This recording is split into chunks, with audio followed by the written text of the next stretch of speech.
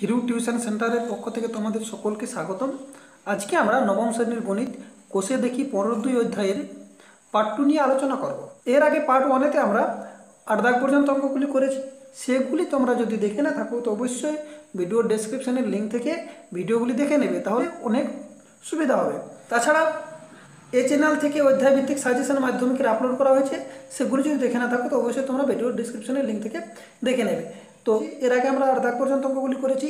আজকে আমরা নয় দাগ থেকে অঙ্ক শুরু করব। তো দেখো নয় দাগের অঙ্ক।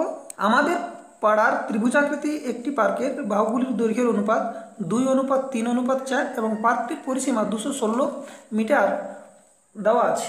তাহলে আমাদের হিসাব করতে হবে এক নম্বরে হিসেব করি পার্কটির ক্ষেত্রফল কত এবং পার্কটির বৃহত্তম বাহুর কৌণিক বিন্দু থেকে ওই বিন্দুতে সোজাসুজি যেতে মোট কত পথ হাঁটতে হবে। হিসাব করে লিখি। পার্কের বাহুগুলির অনুপাত যথাক্রমে দুই অনুপাত, তিন অনুপাত, চার। এটা দেওয়া আছে।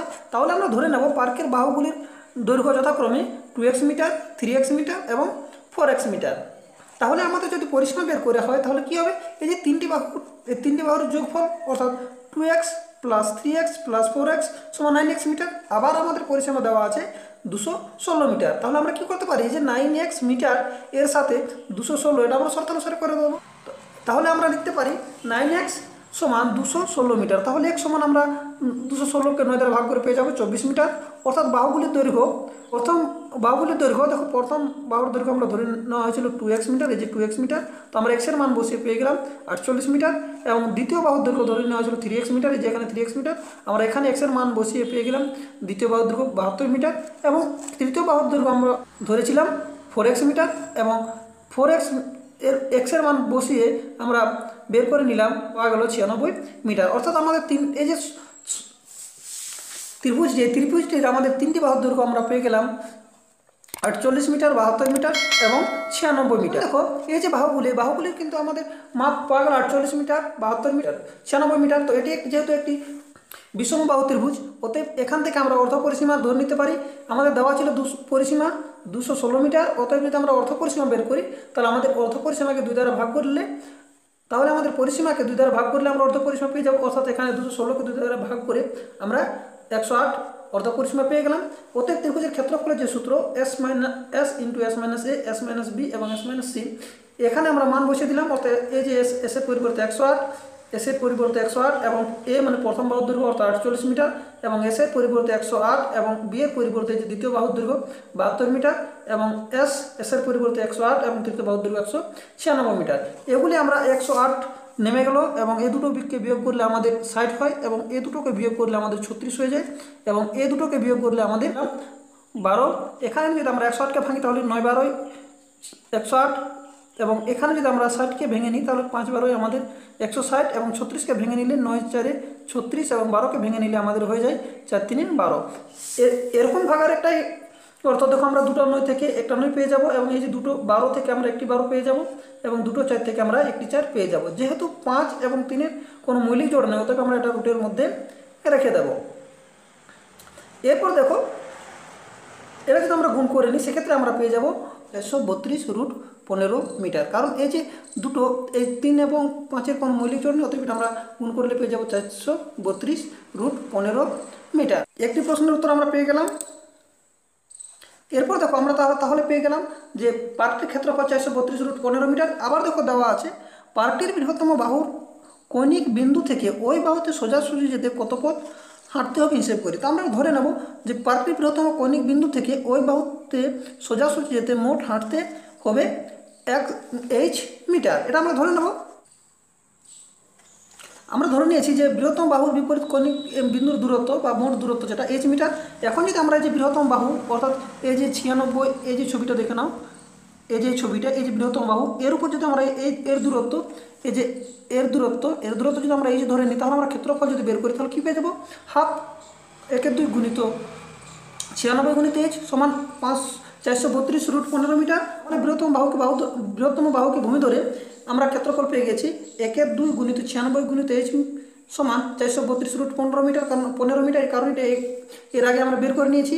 এবং এইচকে যদি আমরা বাঁ পাশে রেখে একের দুই যদি এদিকে আসা হয় তাহলে দুইয়ের এক হয়ে যায় এবং এই ছিয়ানব্বই যেটা আমাদের গুণ চিহ্নে আছে, সেটা আমরা ভাগ চিহ্নে ভেঙে যাবে এখন যদি এটা আমরা গুণ কাটাকাটি করে নিতে দেখো।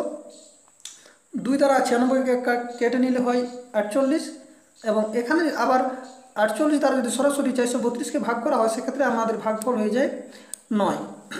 অর্থাৎ এটা আমরা কাটাকুটি করে পেয়ে যাব নয় রুট পনেরো মিটার। অর্থাৎ সোজাসুজি যদি আমাদের যেতে হয়, তাহলে নাইন নয় রুট পনেরো মিটার দূরত্ব আমার পর আমাদের হাঁটতে হবে। নয় দাগের অঙ্ক শেষ, দেখো দশ দাগের অঙ্ক। দশ দাগের অঙ্ক দেখো।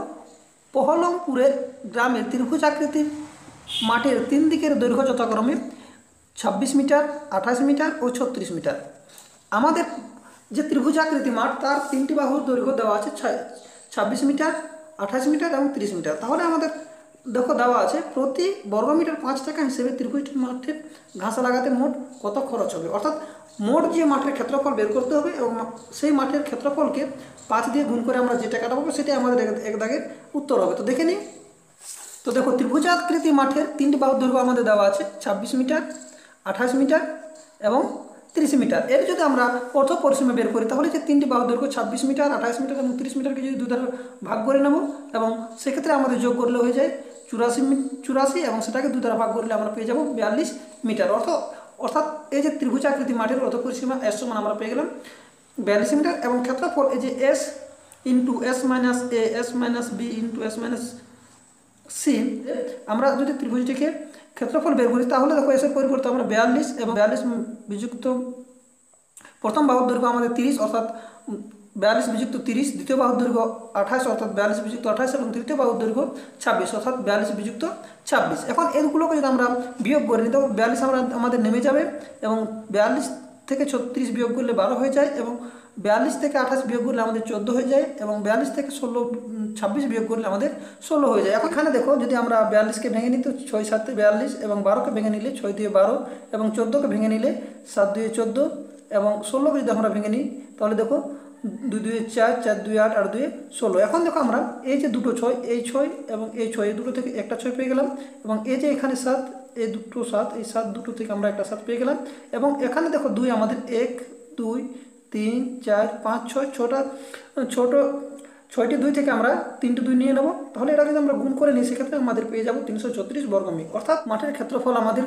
পাওয়া গেল তিনশো ছত্রিশ মিটার। এখন দেখো এখন দেখো প্রতি বর্গ মিটারে পাঁচ টাকা হিসেবে মোট খরচ পড়বে। তাহলে আমাদের এক বর্গ মিটার খরচ পড়বে পাঁচ টাকা। তাহলে আমাদের মোট তিনশো ছত্রিশ, সেক্ষেত্রে আমাদের মোট খরচ পড়বে তিনশো ছত্রিশ গুণিত পাঁচ সমান ষোলোশো আশি টাকা। দশের এক দাগের যে প্রশ্নটা আমাদের তো পাওয়া গেল, আবার দেখো দুই দাগের যে প্রশ্নটি আমাদের চেয়েছে ওই ত্রিভুজাকৃতি মাঠের ওই ত্রিভুজাকৃতি মাঠের প্রবেশের গেটের জন্য পাঁচ মিটার জায়গা ছেড়ে বাকি চারধার বেড়া দিয়ে ঘিরতে প্রতি আঠেরো টাকা হিসেবে মোট খরচ হবে হিসেব করে লিখি।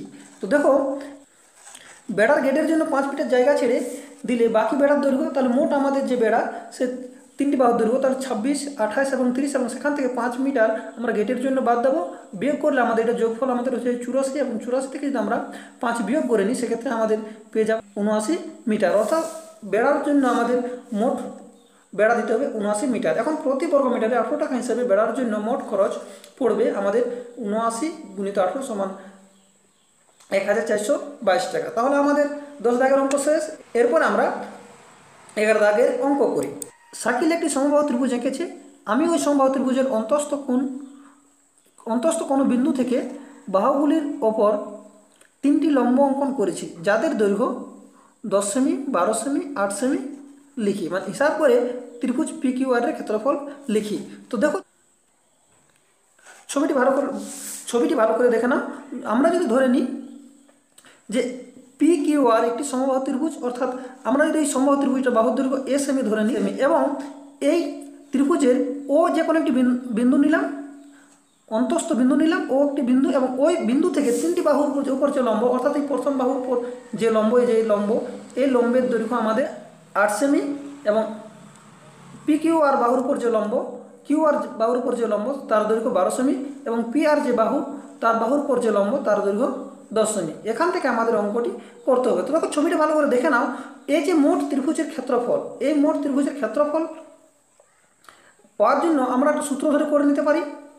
তাছাড়া এই ত্রিভুজ থেকে দেখো পি ও কিউ এই ত্রিভুজ থেকে যদি আমরা ক্ষেত্রফল ধরে নিই, তাহলে কী হবে? যে এই ত্রিভুজের ভূমি আমাদের এ এবং উচ্চতা আট। এখান থেকে আমরা ক্ষেত্রফল পাবো। আবার দেখো কিউ ও আর ত্রিভুজের ক্ষেত্রফল যদি আমরা ধরে নিই, সেক্ষেত্রে কী পাবো? ভূমি। সেক্ষেত্রে আমাদের ভূমি এ এবং উচ্চতা বারো।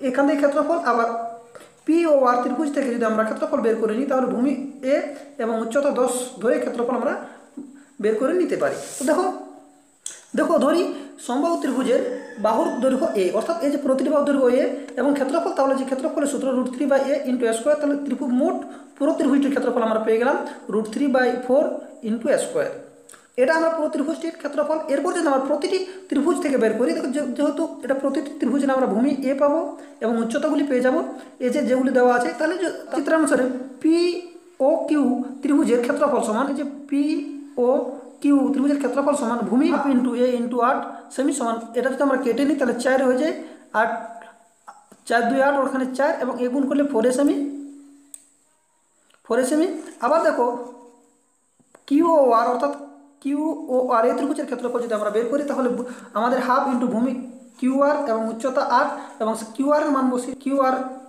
কিউ আর পরিবর্তে যদি আমরা এ বসিয়ে দিই, তাহলে সেক্ষেত্রে আমাদের ও কিউ ও আর এর ক্ষেত্রফল আমরা পেয়ে যাব ছয় বর্গ সেমি ছয় এ বর্গ সেমি এবং পি ও আর অর্থাৎ পি ও আর এই ত্রিভুজের যদি আমরা ক্ষেত্রফল বের করি, তাহলে দেখো ভূমি এ হাফ ইন্টু হাফ ইন্টু ভূমি কিউ আর পি আর এবং উচ্চতা দশ, সেখান থেকে আমরা পেয়ে যাব দেখো ফাইভ এ বর্গ মিটার। এখন যদি আমরা মোট ত্রিভুজের ক্ষেত্র ক্ষেত্রফল বের করি, তাহলে যে তিনটি ত্রিভুজের মোট ক্ষেত্রফল, সেই ক্ষেত্রফলটি আমাদের যোগ করলে হবে। আবার এখানে আমরা শর্তানুসারে মানে সূত্রে এবং সূ- সূত্র থেকে ত্রিভুজের ক্ষেত্রফল পেয়েছি root three by four into square তো আমরা এই দুটোকে শর্তানুসারে করতে পারি, অর্থাৎ এই ত্রিভুজের ক্ষেত্রফল সমান এই যে তিনটি ত্রিভুজের ক্ষেত্রফল সমান, এটা আমরা করে নেব। ত্রিভুজ পি কিউ ত্রিভুজ কিউ ও আর ত্রিভুজ পি আর এর ক্ষেত্রফল এই যে পেয়েছি চার ফোর এ সিক্স এ এবং ফাইভ এ বর্গ সেমি তাহলে এই তিনটি ত্রিভুজের ক্ষেত্রফলকে যদি আমরা যোগ করি, তাহলে মোট ত্রিভুজ পি কিউ আর ক্ষেত্রফল সমান আমরা পেয়ে যাব। এই তিনটিকে যোগ করলে আমরা পনেরো এ বর্গ সেমি এখন আমরা শতাংশরে লিখতে পারি, এই যে সূত্র থেকে যে ক্ষেত্র সূত্র থেকে যে ক্ষেত্রফলটি আমরা পেয়েছি, সেই ক্ষেত্রফলটি সমান এখানে পনেরো সেমি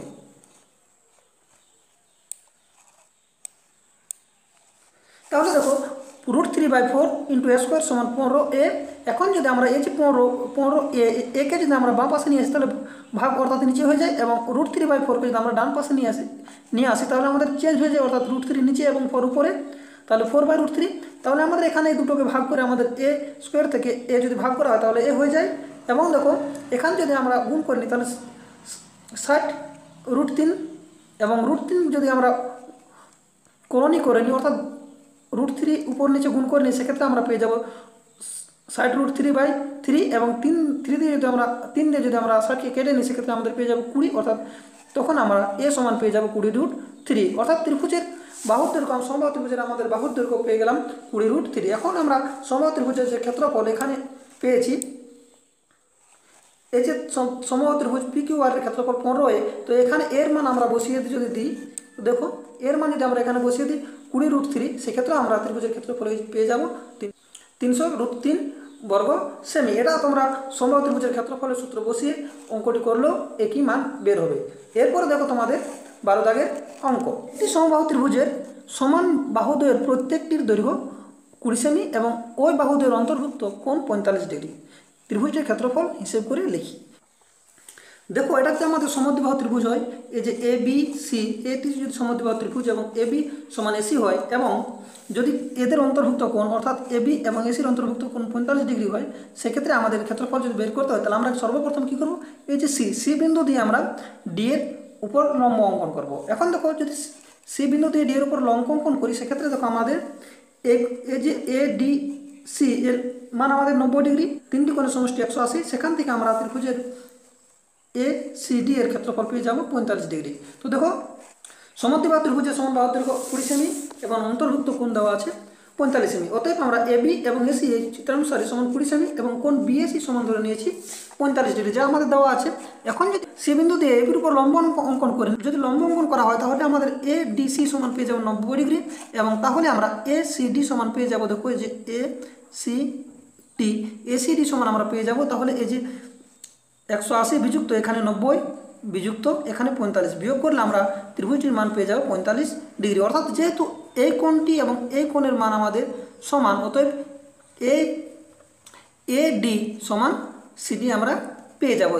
এ ডি সমান সিডির মান পেয়ে যাব। এখন যদি আমরা যেহেতু একটি এ, সি, ডি, একটি সমকোণী ত্রিভুজ, এখন সমকোণী ত্রিভুজের সূত্র অনুসারে যদি আমরা করে নিই, যদি আমরা এটিকে ভূমি ধরি, অর্থাৎ এডি এডি তার হোল স্কোয়ার, অর্থাৎ ভূমি তার হোল স্কোয়ার যুক্ত সিডি তার হোল স্কোয়ার যে সিডি তার হোল স্কোয়ার মানে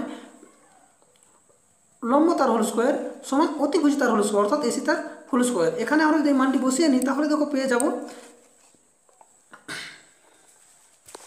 যেহেতু আমাদের এডি সমান সিডি অতএব আমরা এডির পরিবর্তে সিডি বসিয়ে নিলে দেখো আমরা পেয়ে যাব, দেখো। সিডি স্কোয়ার এডির পরিবর্তে সিডি এবং এই সিডি স্কোয়ার নামিয়ে গেল, এবং এসির পরিবর্তে যে এখানে এসির পরিবর্তে এখানে কুড়ি তাহলে কুড়ি তার হোল স্কোয়ার সমান টু সিডি স্কোয়ার সমান চারশো। এখন যদি আমরা সিডি সমান বের করি, তাহলে কী হবে? চারশোর নিচে দুই বসে যাবে। অর্থাৎ সিডি সমান এর দু চারশোকে যদি আমরা দুই দ্বারা ভাগ করে নিই, সেক্ষেত্রে আমাদের হয়ে যাবে দুশো এবং এদিকে যদি আমরা হোল স্কোয়ার তুলে নিই, তাহলে এদিকে হয়ে যাবে রুট অর্থাৎ সিডি সমান রুট দুশো এবং এটাকে আমরা করে নিই, তাহলে কি দশ, দশে একশো দশ, দশে, একশো এবং গুণিত দুই, অর্থাৎ দুটো দশ থেকে একটা দশ বের হয়ে যাবে এবং রুট টু রুট দুই থেকে যাবে।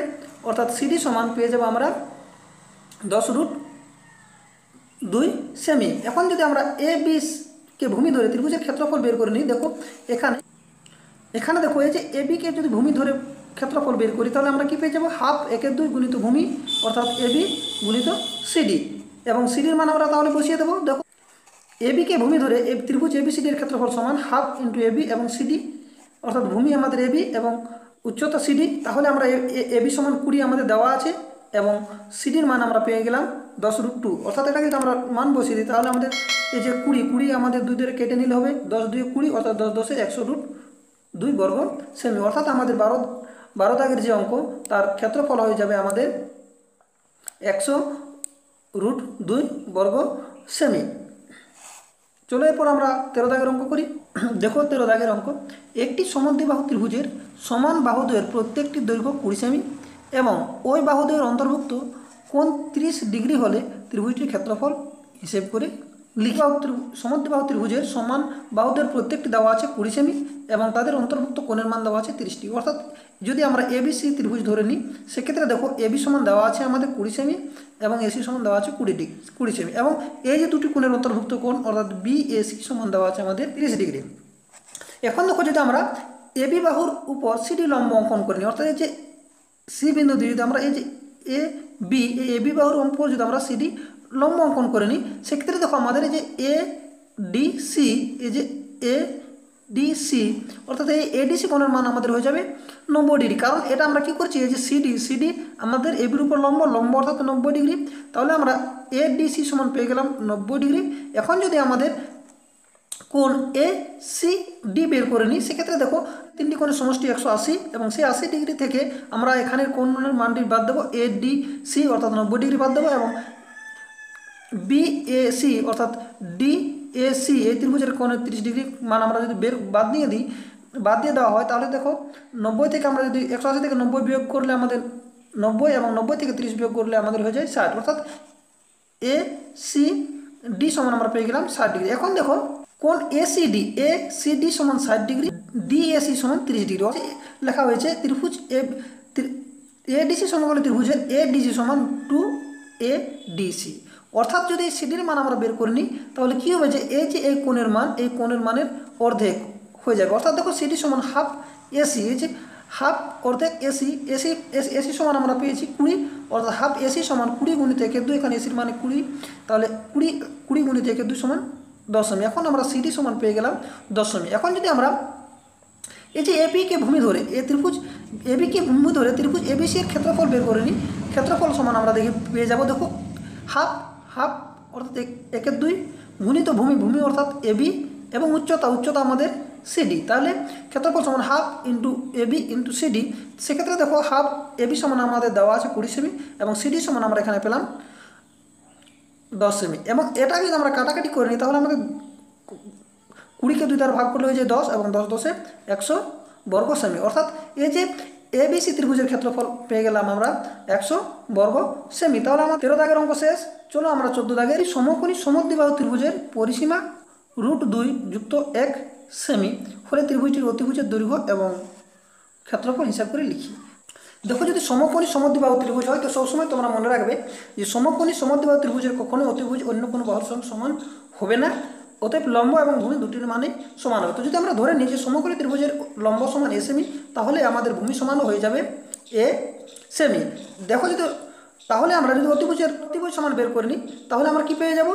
লম্ব তার হোল স্কোয়ার যুক্ত ভূমি তার হোল স্কোয়ার তার পুরোটা রুট তাহলে আমাদের লম্ব সমান এ অর্থাৎ স্কোয়ার ভূমি সমান অর্থাৎ স্কোয়ার তাহলে টু স্কোয়ারের রুট তাহলে টু স্কোয়ার থেকে আমাদের এ বাইরে চলে আসবে, থেকে দুই দুই আমাদের রুটের মধ্যে থেকে যাবে। অর্থাৎ আমরা অতিভুজ সমান পেয়ে যাব এ রুট টু এখন দেখো আমাদের দেওয়া আছে পরিসীমা সমান রুট টু যুক্ত ওয়ান তাহলে আমরা পরিসীমা যদি বের করে নিই, অর্থাৎ আমরা লিখতে পারি লম্ব যুক্ত ভূমি, যুক্ত অতিভুজ, অর্থাৎ লম্ব আমাদের এ ভূমি এ এবং অতিভুজ আমাদের এ রুট টু সমান আমাদের যে পরিসীমা দেওয়া আছে, এটা আমরা লিখে নিতে পারি। এখন দেখো, এ যদি আমরা যোগ করে নিই, তো যোগ করে নিলে আমাদের হয়ে যাবে টু এ এবং এ রুট টু থেকে থেকে যাবে এবং ডান পাশে পাশেটা নেমে যাবে। এখন দেখো, এই দুটো থেকে যদি আমরা এ রুট টু কমন নিই এ রুট টু যদি কমন নিই, সেক্ষেত্রে আমাদের এখানে আমাদের পড়ে থাকবে রুট টু কারণ মনে রাখবে টু অর্থাৎ root two into root two two a যে টু এ টু অর্থাৎ আমাদের টু অর্থাৎ root two into root two অর্থাৎ যদি আমরা একটা রুট টু কমন নিয়ে নিই এ এবং একটি রুট টু তাহলে আমাদের পড়ে থাকে একটি রুট টু যুক্ত, এখান থেকে পুরোটাই কমন গেছে, অর্থাৎ ওয়ান, এবং এখানে ডান দিকেরটা নেমে যায়, এবং এ রুট টু সমান আমরা পেয়ে যাব, এটা যদি আমাদের ডান, এটা যদি আমরা ডান সমান চিহ্নের ডান দিকে নিয়ে এসে তাহলে আমাদের কেটে গিয়ে এক হবে, অর্থাৎ এ রুট টু সমান হয়ে যাবে আমাদের এক, বা আমরা এ সমান যদি বের করি এ সমান, তাহলে আমাদের যে রুট টু এ রুট টু আমাদের ওয়ান বাই রুট টু হয়ে যাবে, তাহলে আমরা অতিভুজ আমাদের এই যে, তাহলে আমাদের যে অতিভুজ অতিভুজ খুঁজেছে। দেখো অতিভুজ সমান আমরা পেয়েছি এখানে যে এ রুট টু তাহলে এই যে অতিভুজ সমান এ রুট টু তো এই যে এর পরিবর্তে যদি আমরা রুট এর পরিবর্তে যদি আমরা মান বসিয়ে দিই, অর্থাৎ ওয়ান বাই রুট টু যদি বসিয়ে দিই এবং এ রুট টু যদি এখানে নেমে যায়, তাহলে আমাদের যে রুট টু রুট টু নেমে গিয়ে আমাদের অতিভুজের মান পেয়ে যাব এক। অর্থাৎ অতিভুজের মান হয়ে যাবে আমাদের এক এবং ক্ষেত্রফল যদি আমরা বের করে নিই সেক্ষেত্রে দেখো হাফ অর্থাৎ একের দুই গুণিত ভূমি ভূমি সমান এক অর্থাৎ ওয়ান বাই রুট টু উচ্চতা সমান ওয়ান বাই রুট টু এখন যদি আমরা এটা গুণ করে নিই, তো দেখো পেয়ে যাব আমাদের এই হাফ এবং এই যে root two root two root two root two root two যদি গুণ করে নিই, তাহলে আমাদের হয়ে যাবে ওয়ান বাই টু অর্থাৎ one by two into one by two সমান হয়ে যায় ওয়ান বাই ফোর তো এটা যদি আমরা ভাগ করে নিই, অর্থাৎ দশমিক দিয়ে মিলিয়ে নিই, সেক্ষেত্রে আমরা পেয়ে যাব চার, দুই, আট এবং দুই নেমে আমাদের কুড়ি কুড়ি হয় এবং চার, পাঁচে কুড়ি, অর্থাৎ শূন্য দশমিক দুই পাঁচ বর্গ সেমি। অর্থাৎ ক্ষেত্রফল আমাদের হয়ে যাবে শূন্য দশমিক দুই পাঁচ বর্গ সেমি। এ- তোমাদের ভিডিওটি যদি হেল্পফুল মনে হয়, অবশ্যই ভিডিওটি একটি লাইক করে দাও এবং চ্যানেলটি যদি সাবস্ক্রাইব করে না রেখেছো, তো অবশ্যই চ্যানেলটিকে সাবস্ক্রাইব করে নাও এবং পাশে থাকা বেল বাটনটি অবশ্যই প্রেস করো। তাহলে কী হবে? যখন আমরা আপলোড করব, সঙ্গে সঙ্গে নোটিফিকেশন তোমরা পেয়ে যাবে। তাহলে দেখা হচ্ছে পরের ভিডিওতে।